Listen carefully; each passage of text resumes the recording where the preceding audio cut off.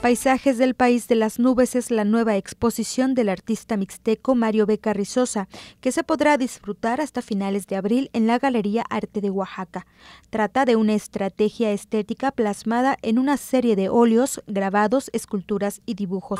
Son inspirados en, los paisajes de, mi pueblo, todos los recuerdos que tengo de pequeño, los... Este, ¿cómo se llama? Lo que me ocurrió de, pequeño. Normalmente yo, yo viví, conviví pues mucho con, animales, con, con aves, a mi, a, mi familia, a mi mamá principalmente, le gustaban mucho las aves.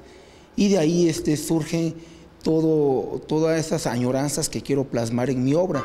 El pintor enriquece su iconografía con una nueva técnica, la del óleo con chapopote, que le permite ahondar en mixturas. Celebra así a la naturaleza de la tierra que lo vio nacer y muestra ejemplos de su característica combinación de la flora con la fauna. Mi misión es transmitir mis costumbres, mis tradiciones de, mi tierra natal. Me gusta experimentar con varias técnicas. Normalmente todos mis trabajos son técnicas mixtas. No me gusta nada más quedarme así como con puro óleo, sino este, enriquecer el trabajo pues ya metiéndole más este, técnicas, en sí le meto serigrafía, trabajo con este, hoja de oro.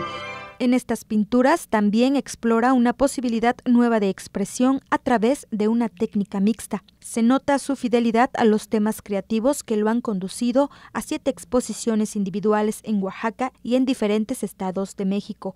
Igualmente, en octubre tendrá la oportunidad de mostrar mediante su arte la riqueza cultural oaxaqueña en California con imágenes de José Antonio Reyes para MBM Televisión, Liliana Velasco.